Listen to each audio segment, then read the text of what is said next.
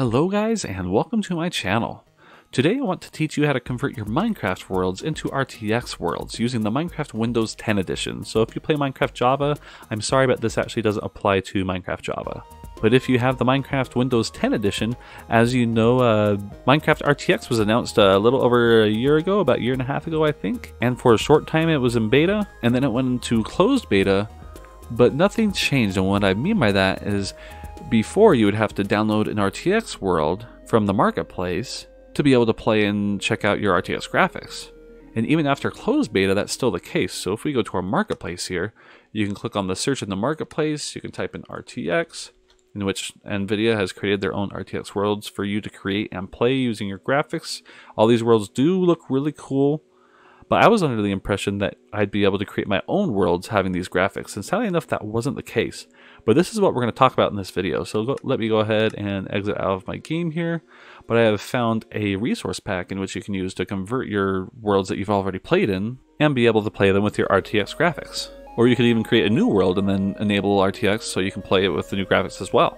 So what we're going to do here is go to your web browser and go to google.com and we are going to type in Kelly's RTX. Oh, it looks like I have caps lock on there. Whoopsies. And after you search it, you should see uh, mcpedl.com. I guess you can call that mcpedal.com. We're going to click on that, and this will bring us to the website where we're going to download a resource pack to convert our normal worlds into RTX and let us play with the RTX graphics. And what I like about this resource pack, and keep in mind is that there's actually a lot of other resource packs out there that help deal with RTX, but what I found with this particular one is that if you read at the top here, it says this is a simple vanilla texture pack conversion for RTX on Minecraft Windows 10 Edition. It's for the most part an exact conversion, and all non-moving things have been converted, everything has a special Everything has had special care and tweaking put into it. So if you really want uh, an exact conversion from your normal Minecraft textures, this is the resource pack you want to use. And like I said, there might be other good ones out there, but I don't, I haven't really worked with them. And once again, this one actually does claim that it is an exact conversion. So if we scroll down here, you're going to see a few pictures of the conversion of uh, what your graphics are actually going to look like. And yes, I can assure you that your graphics will look like this as long as you have an RTX graphics card in your computer. And we're just going to scroll down here until we see the download section. So if we scroll down here a little bit more, we should find some downloads. It'll be uh, in green text. At least the time of this video was in green text. And we're going to download this resource pack at the top called Kelly's RTX Base Pack. Along with these downloads, there's a few add-ons that you can download. If you actually look at these pictures, they actually talk about the add-ons that you can download as well. But I like to just stick with the base pack. So we're going to click on the base pack. This will automatically create a download. You'll click on Save As. Let's save this to my Downloads folder. And after that downloads, you can go ahead and click on Show in Folder.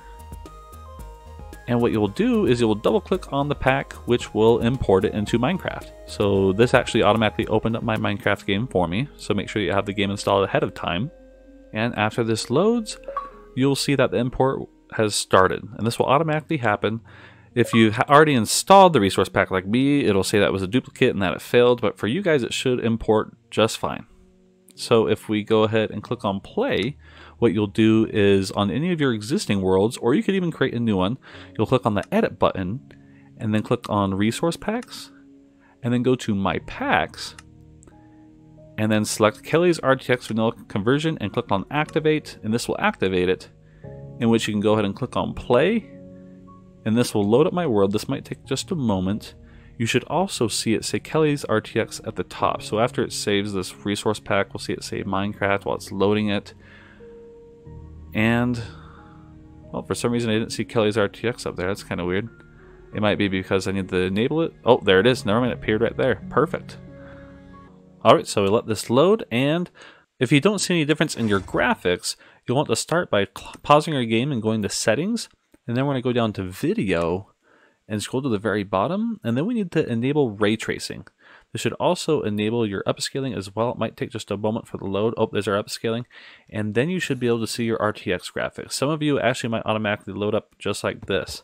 But as you can see, we have some realism in our clouds in which they're casting shadows. We have the sun, which is shining right beside the clouds.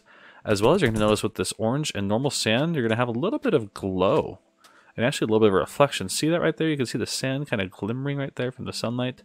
Um, while I'm streaming, I'm actually getting a little bit lower FPS than normal. Usually I get between 60 to 90.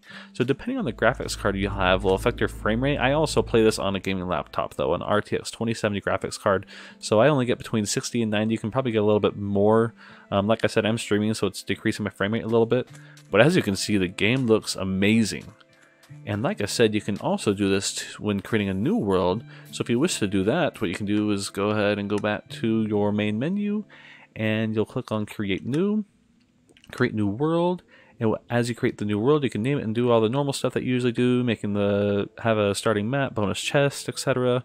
But just go down the resource packs, activate, or actually, sorry, my packs, choose Kelly's RTX, activate, and then create. If we click on create, we should have an RTX world be created. So we're able to create our own Minecraft worlds with RTX.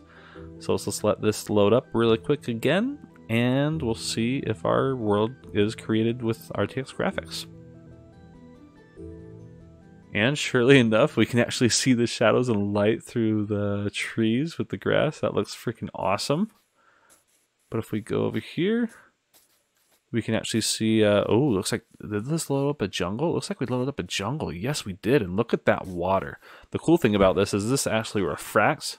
So if we go down underneath, we're actually only uh, two blocks deep, but if we go up, it looks like we're only like one block deep. So it actually refracts the water. You can see the sun rays shining through as well, which makes the game look really, really cool. And also another thing to keep in mind is that when you want to go back to your uh, normal graphics, you can just go back to your settings and go to video, scroll all the way down and disable your ray tracing and that will revert back to the original graphics. The only difference I've noticed when going back to the original graphics is you'll see that the sky is blue and then it kind of gets a dark really dark blue and also black in the distance. I don't think that's actually what it looks like with normal graphics, so that's probably the only graphical difference I've noticed on my end. But anyways, you can uh, revert back to RTX graphics or go back to normal anytime you'd like. And I would also make sure that you have the upscaling enabled because if you don't have upscaling enabled, you'll you will get really bad FPS. So if I actually disable it right here, you're gonna see it's really choppy. So if we go ahead and go back and enable that, we should get more FPS and our game should play a lot smoother. And one thing to also note is that if another player wants to join you and they don't have an RTX graphics card, if you have this resource pack enabled, it will require them to download it if they try and join the world. But if even if they don't have an RTX graphics card, it'll let them join and they'll pretty much see the graphics that you saw earlier with it disabled. Um, the only thing you'll have to keep in mind is that depending on the the type of pack you install, um, and also the version of Kelly's RTX that you install, it might affect what the player sees for example, I used to play on an old version of Kelly's RTX in which glass was pretty much see-through for players with playing with normal graphics. It was completely see-through in which you could even tell it was glass. Unless you touched it, then you realized there was actually glass there. So anyways, if you found this video helpful, please like and subscribe. Let me know in the comments uh, if you have any problems or any questions, concerns. Um, but thanks for watching and hope to see you again in any of my uh, other videos. So we'll see you guys later.